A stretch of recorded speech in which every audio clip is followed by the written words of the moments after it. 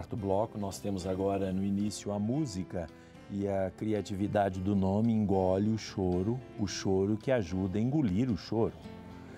Então nós é, temos o Fernando Venturelli que vai falar alguma coisa sobre o grupo. Além do mais, ele é o compositor da próxima música que eles vão apresentar com a palavra Fernando Venturelli. Bom dia a todos. Nosso grupo Engole o Choro teve suas origens no ano passado, né, quando integrantes aqui decidiram se reunir para estudar, considerando que o choro também é uma escola para a gente, não só pelo gosto da música, mas para poder tocar, estudar juntos. E dessa, dessa roda semanal no, no bairro onde a gente mora e inclusive estuda, a gente acabou decidindo formar o grupo. E durante esse tempo, é, o, nome veio de uma, uma brincadeira até, né, de uma situação que, além de músicos, nós também somos professores de música. E, e no, durante uma aula teve essa ideia de alguns alunos, criança, que dizia que a mãe, quando fazia birra, a mãe falava: engole o choro, menino. e a gente, em busca de um nome, acabou essa história acabou prevalecendo e nós escolhemos levar, levar adiante isso. Bem, e sobre a música, eu gostaria de dizer só que ela também foi resultado dessa, desses, desses nossos encontros, né? Ela foi composta exatamente pelas ruas, né? Por isso ela leva esse nome, num clima é, assim de reverência e despretensioso. Ela, uma ideia que veio assim, eu acabei aproveitando a ideia, só que eu precisava sair para ensaiar com os colegas, inclusive para tocar na roda. Eu falei, eu não posso perder essa ideia. E fui cantarolando na rua, colocando uns acordes e acabou e ela acabou surgindo, vindo e nós vamos apresentar para vocês. Espero que todos gostem não só da música, mas da banda e pode entrar em contato com a gente. Muito obrigado.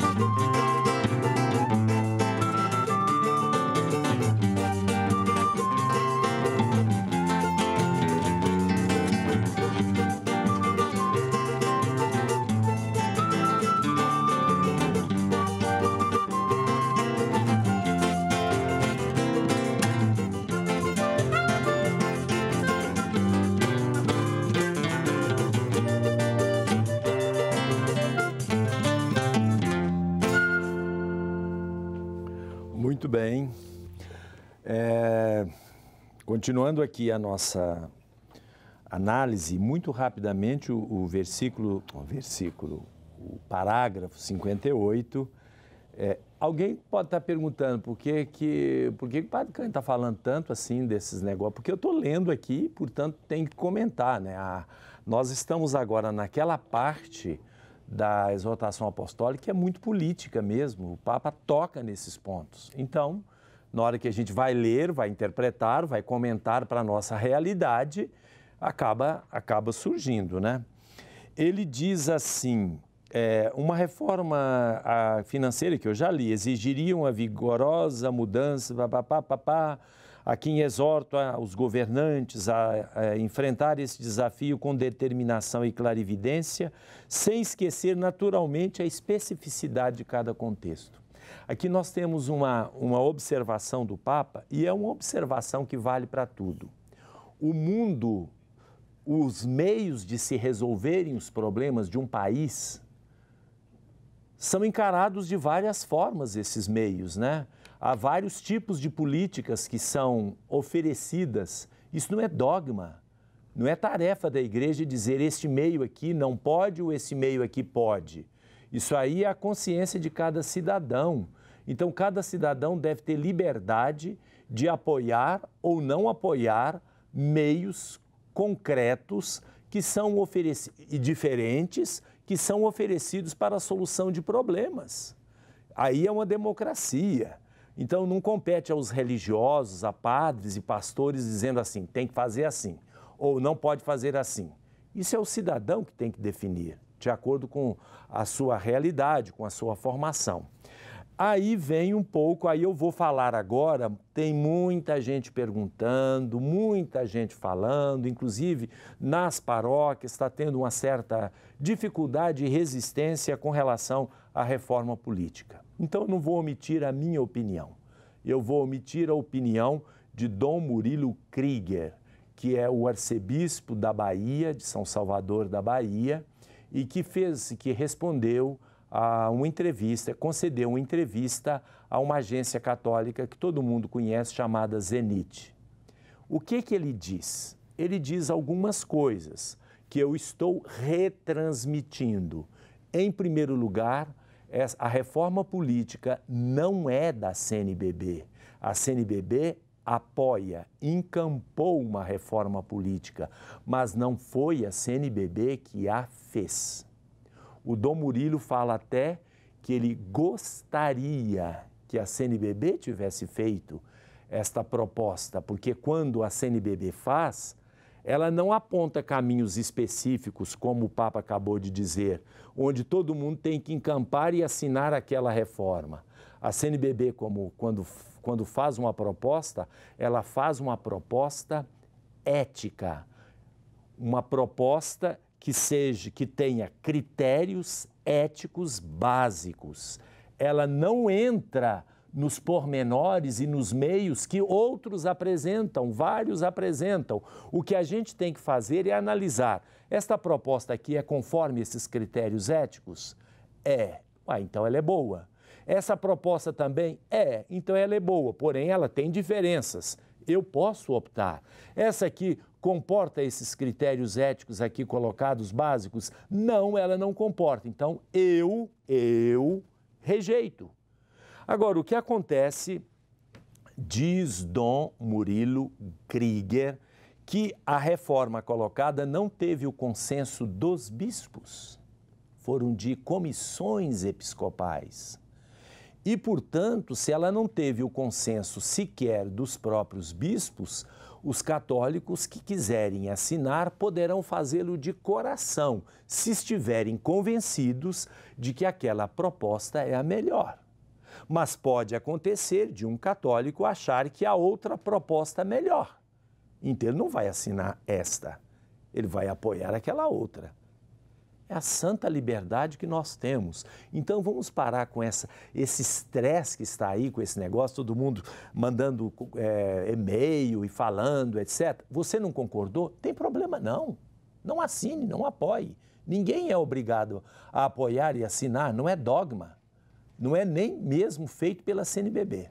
Tá bom? Então agora vamos a algumas participações. Bom certo. dia, tudo bem, né, Zaira? Bom dia, Padre Cândido. Bom dia a todos que estão nos assistindo. A primeira participação de hoje é da Rita, do bairro Santo Inês. Ela pede para explicar uma passagem da Bíblia, que é o Evangelho de Marcos, capítulo 4, versículo 12. Pois é, olha aqui, como é que é o nome? Rita. Ô Rita, veja bem, o, o, o, cap, o capítulo 4, versículo, exatamente o versículo 12, não é de Marcos. Ele citou, ele citou o texto do profeta Isaías. Então, se a gente for ler o texto do profeta Isaías que Marcos cita, aí nós vamos entender um pouco melhor. O profeta diz assim: Vai e diz a este povo: Podeis ouvir certamente, mas não entendereis Podeis ver certamente, mas não compreendereis. Embora o coração deste povo, embota o coração deste povo, torna-lhe pesados os ouvidos, tapa-lhes os olhos, para que não veja com os olhos, não ouça com os ouvidos, seu coração não compreenda, não se converta e não seja curado. Aí nós podemos dizer assim: o profeta Isaías e Marcos depois vai repetir isso quando ele fala do povo que, que não compreendeu Jesus, não ouviu Jesus e o condenou à morte. O profeta, ele, ele faz um embate com a incompreensão, e Marcos também cita. Os é, não devem, nós não devemos entender que Deus não quer fazer isso. Não, Deus, não é que Deus é, é, quer que as pessoas não se convertam, não vejam, não compreendam, etc. Não é Deus que não quer é que quando as pessoas, Deus prevê que aquela pessoa terá o seu coração endurecido. E se essa pessoa terá o coração endurecido, aquilo pode servir para um propósito melhor. Não que Deus queira isso, porque Deus não é também favorável à ética marxista, é que o fim justifica os meios. Deus não é favorável a isso, isso não é ética divina. Mas, no entanto, a pessoa endureceu o coração, então o que Deus faz? Santo Agostinho é que diz: Deus tira do mal a possibilidade do bem. No fundo, é isso que está sendo, que ele está sendo dito. O caso de Jesus se torna muito claro. É, endureceram o coração, condenaram o inocente à morte, condenaram Jesus à morte, e, no, e neste caso, o que, que se reverteu isso em benefício para toda a humanidade? Não que aqueles que o fizeram estivessem certos. Voltamos daqui a pouco.